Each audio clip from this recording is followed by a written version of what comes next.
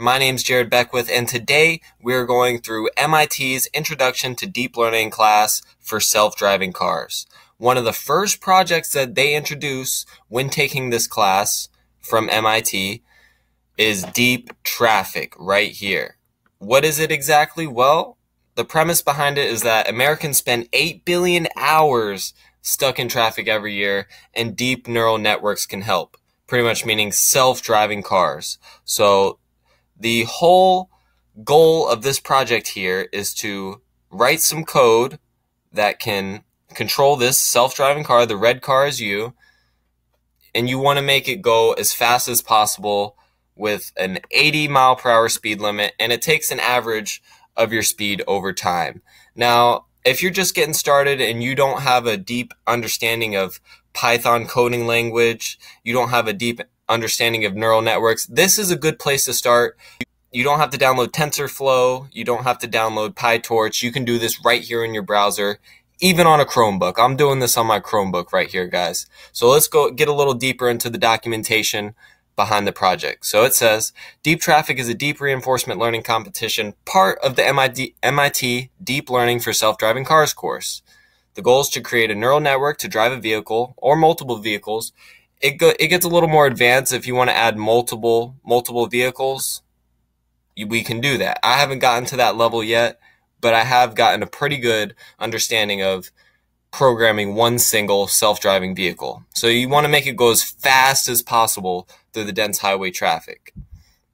So how are we going to do that? Well, quick overview here. Um, on the upper left, you can find a real-time simulation. This is the real-time simulation right here of your car. It's going to be moving on this page. Right now, we're at negative 57 cars passed, so we're definitely going to have to change up the code. Um, okay, here's the simulation here. Uh, you can either put it on normal speed for the simulation, or you can do it on fast speed, which it updates everything in real time. This is more like a realistic driving simulator. This just gives you all the updates in real time. So you can see the, the actual calculation going as fast as possible. Let's see. Um, the following variables control the size of the input the neural network gets. He, these are the first three variables that you get. But in the beginning, you definitely need to change these because the car is essentially blind.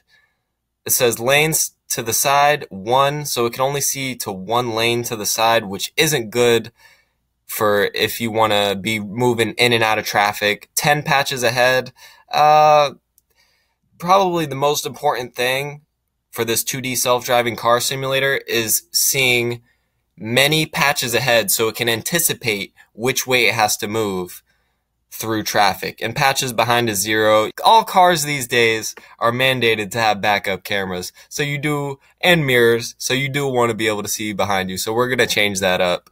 Let's do that right now, guys, because we are getting passed in the race. We are losing the race. So just like, uh, just like we were looking at before, lanes to the side, I'd say if we can get three three lanes to the side, we'll be looking pretty good.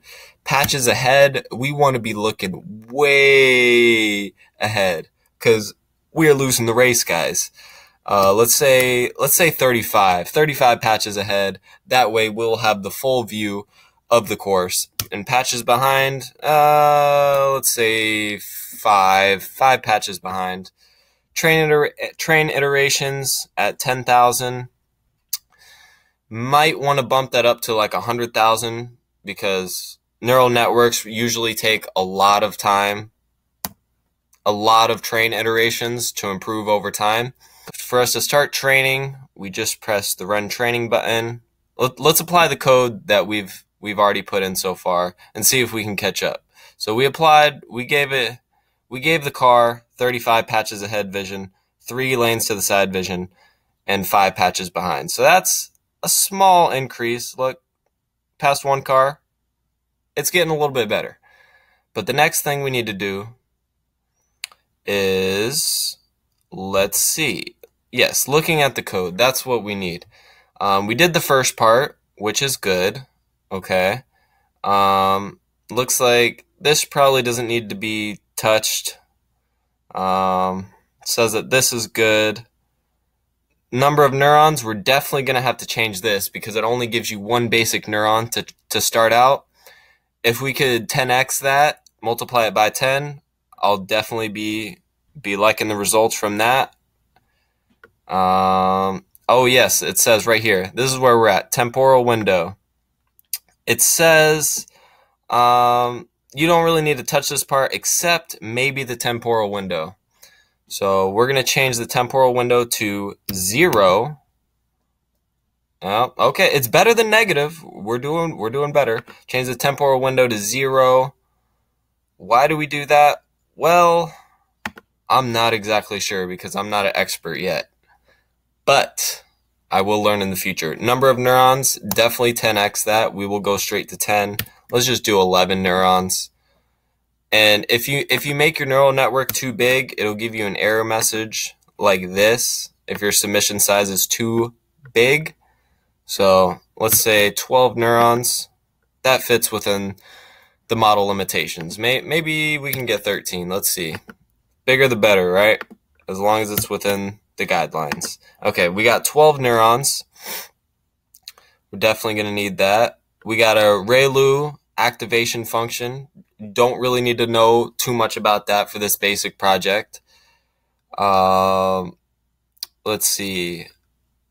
Gamma. Gamma, this usually depends. It's going to be from between 0 and 1. Right now, um, I say we can make it 0.8. I saw another another guy. He was saying 0.98 worked pretty good for him. But I I like the idea of a 0.8 gamma, so we'll definitely put that in there. Apply that code. All right.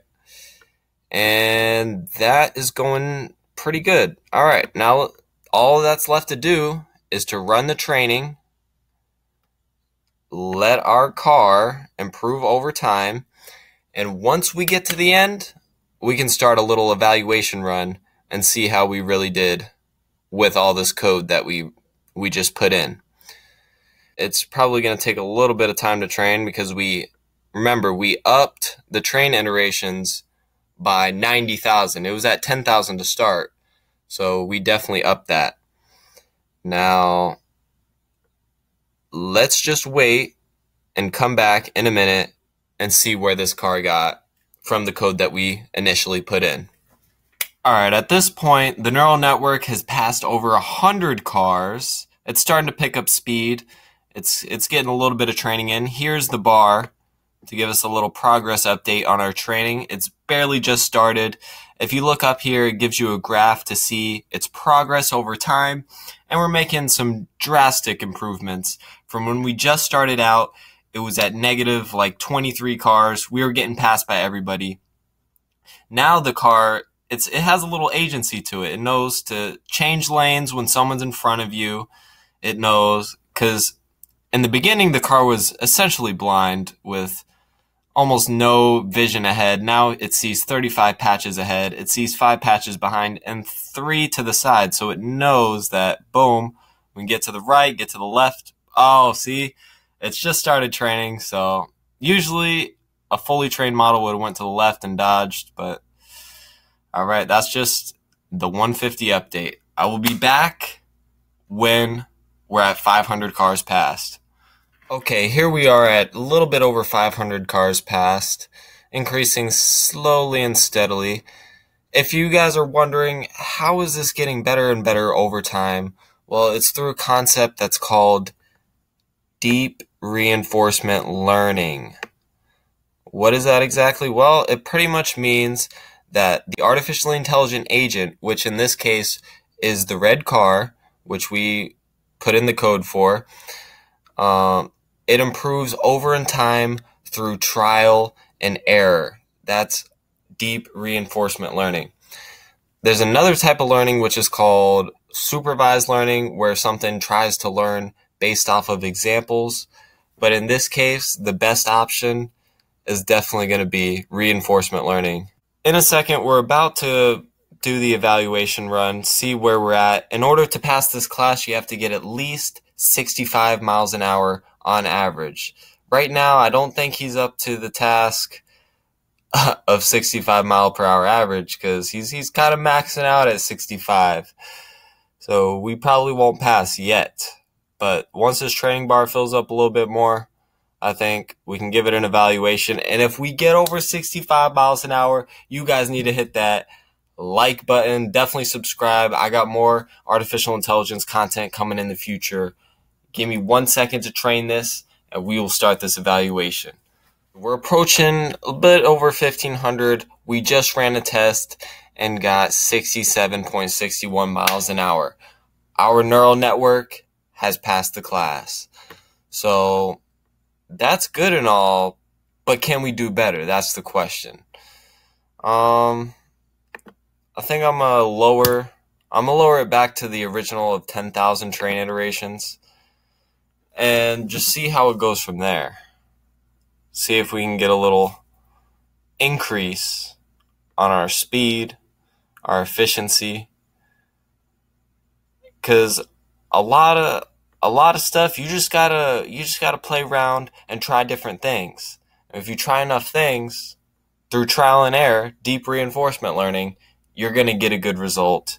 And let's try to get 69 or 70 miles an hour. If you can get 69 to 70 miles an hour, that'll put you in the top 10% of an MIT deep reinforcement learning competition. That's pretty impressive if you ask me. But let's see if we can do it. Train this other model and let's see what results we get.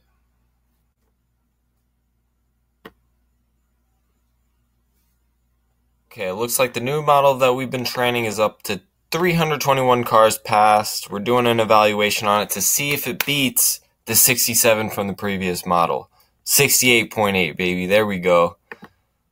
See, I, I knew this one was going a little bit faster. So the only thing we train we changed was from 100,000 train iterations to 10,000 train iterations. I, I've seen someone have success with 300,000. I don't know, guys. It's something that you're just gonna have to play around with. These are the basic, the basic controls to the car that you're gonna have to change. These variables. Um, but some more advanced stuff like down here something that maybe I shouldn't have changed is the gamma. Maybe I should have left that at 0.7. These are the advanced ones. I'm not really sure what to do with these exactly. But I did train a neural network that put me in the top 10% of MIT self-driving car competition. You guys can copy exactly what I did.